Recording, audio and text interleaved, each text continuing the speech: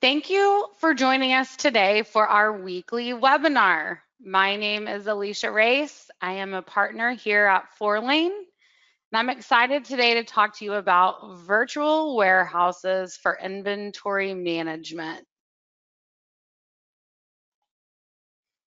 If you missed any of our previous videos, you can always find them on our YouTube channel, youtube.com forward slash Fourlane. Remember to subscribe so you can get notified when new videos come out. You can also connect to us via our Fourlane Facebook group at four Fourlane QuickBooks Enterprise. You can also connect with your peers here as well.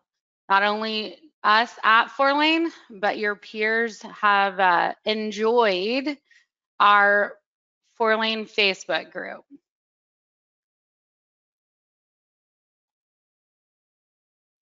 As always, I want to mention our Fourlane on-demand support service that we offer to our clients. This service is only $25 per QuickBooks user per month for up to five users.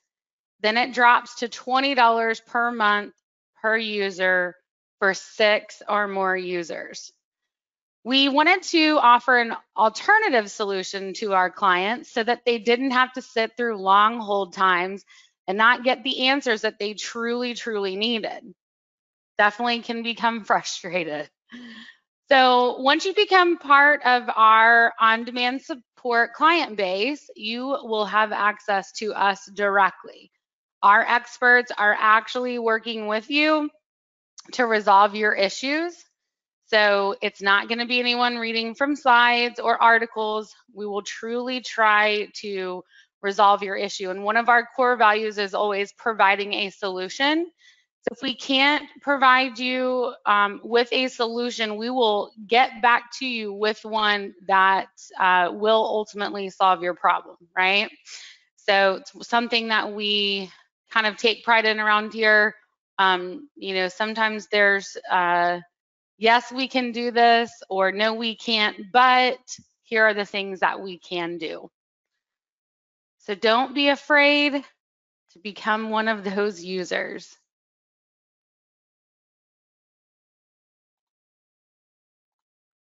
All right, virtual warehouses. So virtual warehouses I'm really excited to talk about as we're going to spend quite a bit of time in um, QuickBooks Enterprise today. Um, and this is a topic that I've talked to a lot of clients about. So I want to make sure that everybody understands what virtual warehouses is all about. So virtual warehousing has become increasingly important for retailers in all industries for a number of reasons. These warehouses are used by many businesses to fulfill and ship customer orders more quickly. With the in increasing of fast shipping times, especially from businesses like Amazon, virtual warehouses are all but a necessity to stay competitive, particularly for e-com or e-commerce businesses. A virtual warehouse helps businesses fulfill customer orders quickly and with lower operating cost, right? Because customers today are used to fast shipping times, aren't we all? A virtual warehouse can be a necessity to stay competitive with larger businesses such as, of course, Amazon, but Walmart as well. Um, I hate to tell off on myself, but I am that customer that checks to see if I can get delivery next day. Yep, that's me.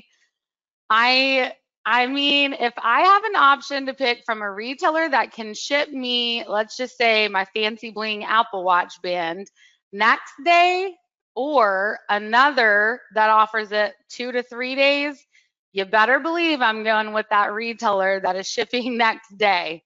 I just don't ever go anywhere and I have things delivered to me. I'm pretty sure that is um, being spoiled with COVID, not having to go anywhere and things getting delivered, I definitely, I'm sure also that I'm not the only one. Um, I'm sure a number of us can raise our hands and probably admit, hopefully we can all admit, that if we've done this at least once or twice in our lives, right?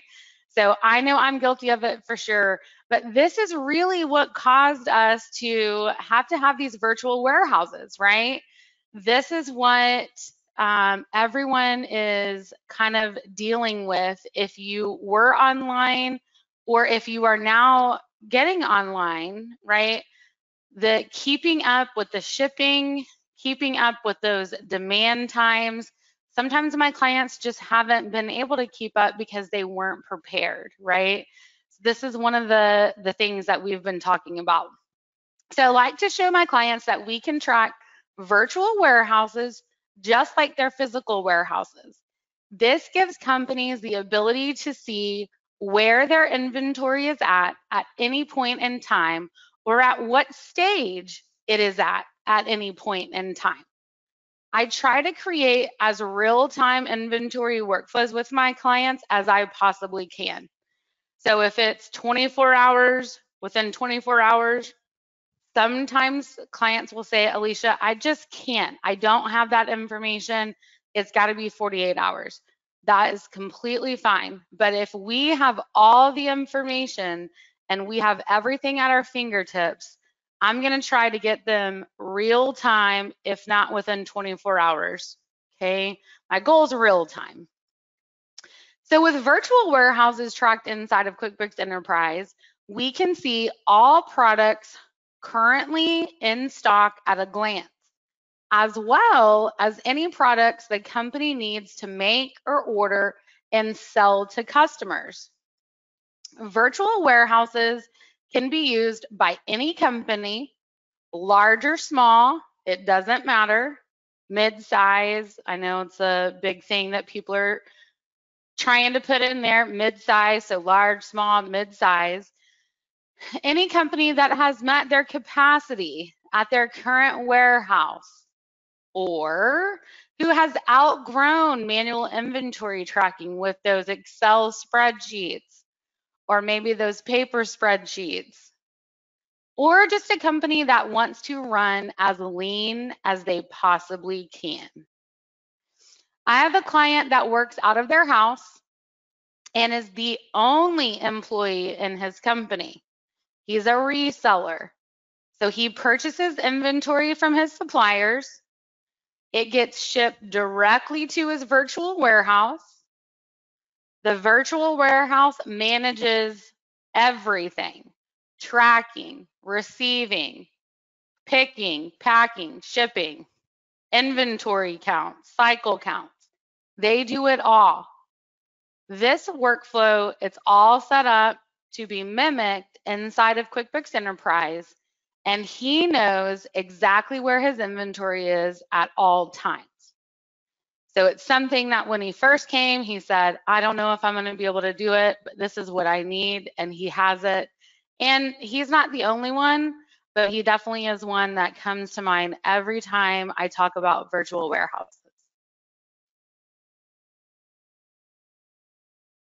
So let's go ahead and let's go into QuickBooks Enterprise. So I've got my sample file here. And I want to look at preferences to ensure that we have our files set up to track warehouses.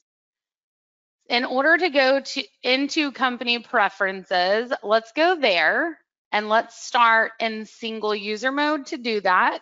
Oops, I don't want to forget. So you have to be in single user mode to make modifications at the company preference level. So if you're not in single user mode, go ahead and switch Okay. But we're going to go into edit preferences. Then our next one is to go into items and inventory. And we're going to go company preferences. Okay. So now that we're here, we're going to go into and again, sample file if you're questioning any of these things I have set up. Advanced inventory settings is where we find our uh, sites and bins.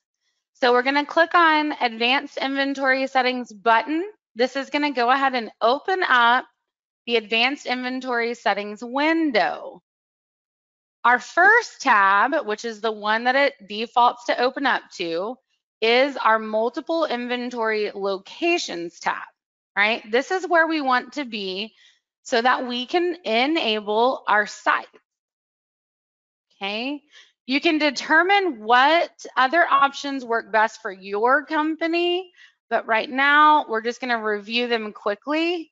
I know some of my clients, they tell me, Alisha, you know, I need to track bins. I don't. I also don't care if I've got negative inventory, right? So whatever works best for you at your company, who make those decisions for you, right? But right now, I'm just going to re review these so we can go ahead and um, kind of get through our virtual warehouses, okay? So the first box right here, we want to make sure that's enabled multiple sites are enabled. That's what the checkbox says. This next one, warn about duplicate inventory transfer numbers. If you want, you can um, select this. However, some people don't use transfers, other people do. So if we are doing an inventory transfer and we don't want to use duplicate transactions, you want to go ahead and check that box. The next is when a transaction would cause inventory to go negative. We either have the first box, which is warn me. Warn me just means that if you are gonna go negative, you're gonna get a pop-up box that you can say okay and move past. It's just gonna say, hey, if you do this, you will go negative. If you don't care, you say yes, right? Now the next one, block the transaction, is where this is the system is not going to allow you to move forward. It's going to give you a pop-up box and it is going to say inventory part blah blah blah is going to go negative. You're not allowed to do this. Probably not that last part, not allowed, but you can't do this, okay? So that window will come up. It will absolutely block you if you select this. Now for our purposes, we're gonna say warn me because again, this is my sample file. So our next two trans two uh, um, things here is track bin locations within inventory sites. Okay, and then warn per bin location if there's not enough inventory to sell. So we do have a pop-up box when I turn on to track bin locations. This is telling us that it's going to go into an unassigned. I'm not going to do uh, bins because we're going to get through our um, demo today, but I'm going to go ahead. So I'm going to go ahead and turn this off, but you will see that that box does open up right underneath it once you turn it on. Okay. I know I turn these things on and off all the time. All right. So now we would just say okay here. I'm going to cancel. I've already done all this. And then we're going to say okay here, right? Now, it may tell you it needs to close all windows if you have a whole bunch open. Um, so let QuickBooks go ahead and do its thing. All right. So now that we've got our inventory sites active as part of that advanced inventory feature, we can go set up our virtual warehouses. Under list, select our inventory site list. So this is going to open up what sites we already have. Okay, as you can see, I've set up two virtual sites, virtual warehouse one, virtual warehouse two, which is, you know, so basic and plain, but hey, they're in here. Okay, so I'm gonna go with you and set up a new one. Now, I do uh, quick keys. So you can come down here and click on inventory site and new. But you can also see that control N which is the quick keys, will get you to the same place. So control N, and it's gonna open up my new site information, okay? So I'm gonna go ahead and type virtual warehouse three. So we can add a description, we can add a site contact, phone, fax, email if we need to, but we can also add an address, okay? So if I want to add an address and um, just it can be anywhere. I mean, obviously, it would be exactly where that warehouse is. And the reason for this is because if you're going to drop ship to the warehouse, it's going to automatically pop populate for you. And we're going to go through that. But so you want to get your street, you want to get your uh, zip code and everything set up properly. Uh, so we're going to just throw something in. Okay. And so now I have my three warehouses set up. So now that we have all of our warehouses set up, let's go ahead and look at some data. Okay. I'd like to go ahead and start at looking at the data from a purchasing perspective. So I'm going to go ahead and open up a purchase order. I think it's a good idea to start at the purchasing perspective because, you know, not all clients really use sales orders or things like that. And I think we all potentially, if we are actually doing virtual warehouses, right? virtual warehouse, my supplier needs to deliver to um, that warehouse. And so most of us would be at that point doing purchase orders. Okay. So I want to show that this purchase order has virtual warehouse one in my ship to. Okay. This is where we see the 123 Street Main. Wow, very, very plain I set up Main Street a while ago. Um, but in in Austin, right on 123 Street, basically all of these items that I have ordered from Franz Fasteners are going to get drop shipped to that warehouse, or they're going to ship to that warehouse, right? So instead of we doing us doing drop ship to a customer, we're actually going to have this automatically delivered to that virtual warehouse. All right. So our product will go there. So most of my clients that use virtual warehouses, um, they basically get updates from the virtual warehouse either on a daily basis. Sometimes on that daily basis, what they'll have is um, access to sign into a portal to get those updates. Sometimes what they get is um, uh, item receipts or like packing slips scanned and delivered to them via email, right? Batch created and sent to them. Sometimes they get weekly updates and a couple of my clients they get monthly right so obviously as i said i try to do real-time inventory management with all of my clients so if they're not on that daily we try to push for it i give them ideas of how to communicate to those virtual warehouses and really trying to get as real-time inventory as possible okay but what we're doing is what we kind of call after the fact reporting right or um, documenting because our virtual warehouse is actually tracking everything for us. But we're going to come in and we're going to receive everything just as if I am receiving it in my warehouse. I'm going to go through all of these steps because I'm going to get real-time inventory information if I mimic what is happening there. All right.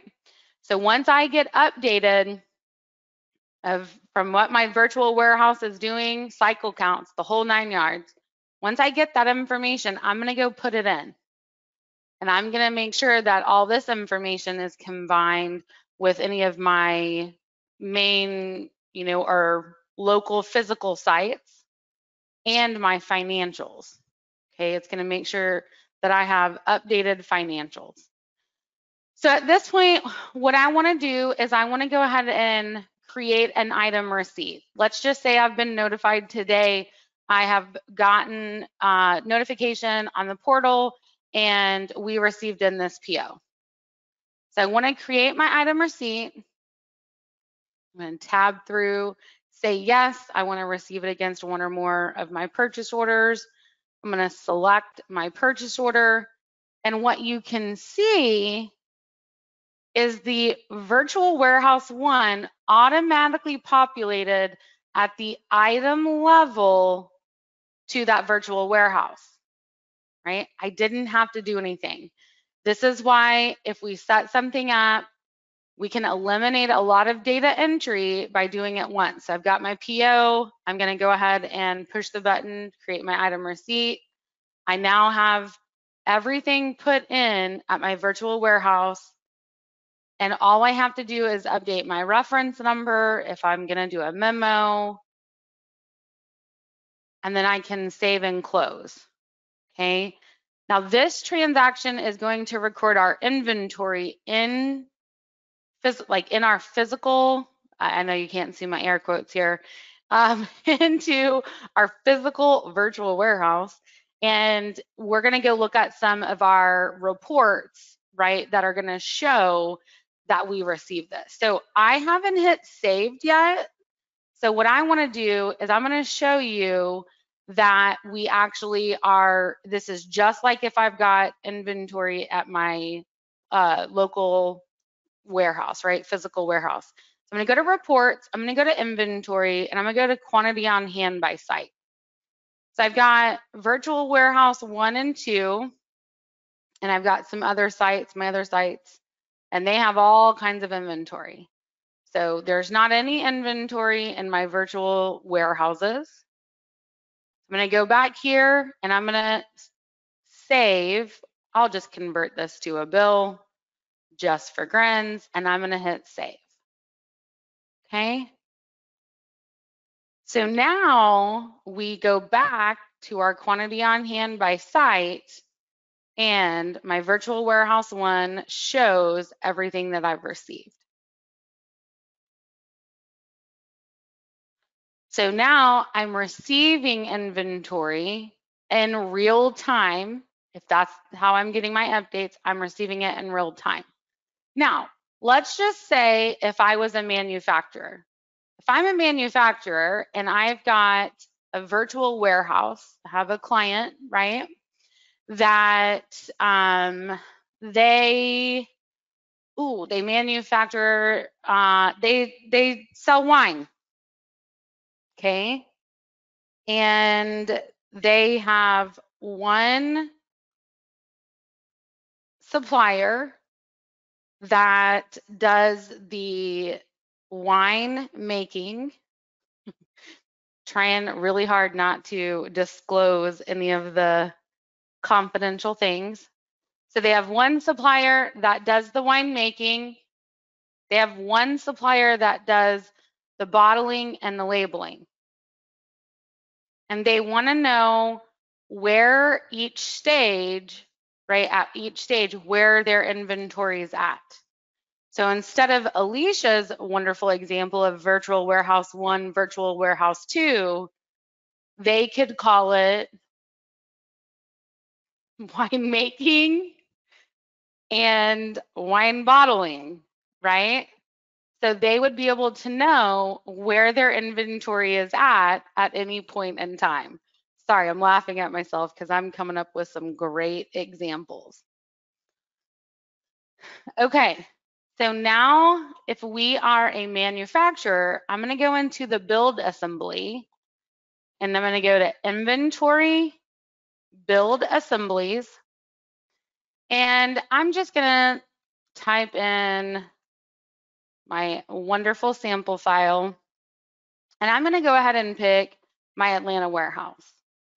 So some things that I want to talk to you about at this Atlanta warehouse how it automatically at some point I've told it stop asking me, but every time I pick a warehouse up here at the very top, go ahead and add that to my site down here.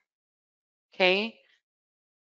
So not every time that I'm manufacturing do I always have inventory on hand, right? Sometimes we are in situations where I really need to, um, you know, have a wire nut orange, right?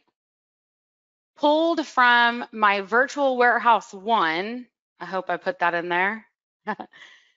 and I need that delivered to me because maybe they're holding more product than I have in my in my warehouse. And so I'm scrambling to manufacture this and this product's got to go out on Friday.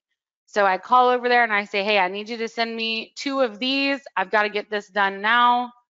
And so what I can do is I can come over here and I can click on this virtual warehouse and I can substitute my Atlanta site for my virtual warehouse. And this is really where I'm pulling it from. Okay. So now I'm sure that there's some of you out there going, well, why wouldn't you do an inventory transfer? Well, here's why. I tell my clients if you are transferring inventory and there's a particular amount of time that it takes to transfer that inventory from point A to point B, right? So if it's going to take me a week in shipping and those things, right, to actually receive, let's just say my orange wire nut, right, then I want to do an inventory transfer. If it takes 24 hours to get that, I'm going to tell you that it is okay for you to do it like this, how I'm showing you on the screen. And the reason why is we are getting the same information. This is coming from the virtual warehouse. And I'm actually not having to do a transfer that is recording additional transactions in my company file. So I'm trying to maintain the same information as if I was transferring, but because it's showing me right here, it came from my virtual warehouse, but I'm not having to add additional transactions, which will increase my file size if I'm constantly doing this, right? Okay, we could also, for my winemaker, right? Where bottling and everything is happening all in the virtual warehouses. This is a, is something that he does. He puts virtual warehouse one. This is where this finished good is taking place.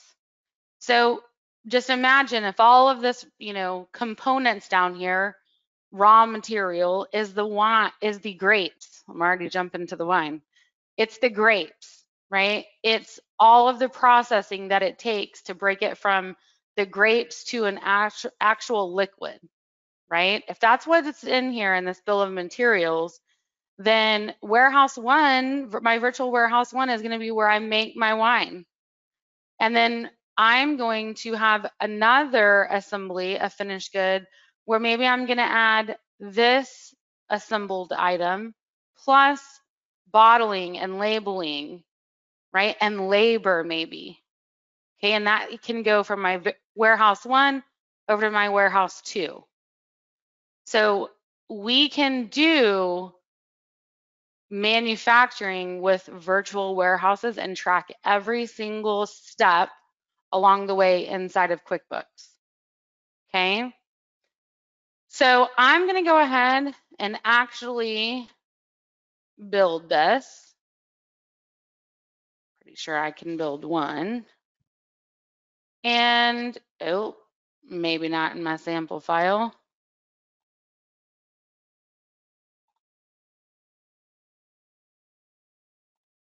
Can actually build one now. Okay, so I'm going to build that. Now I want to go ahead and finish out this process where I'm going to do my invoicing. Okay.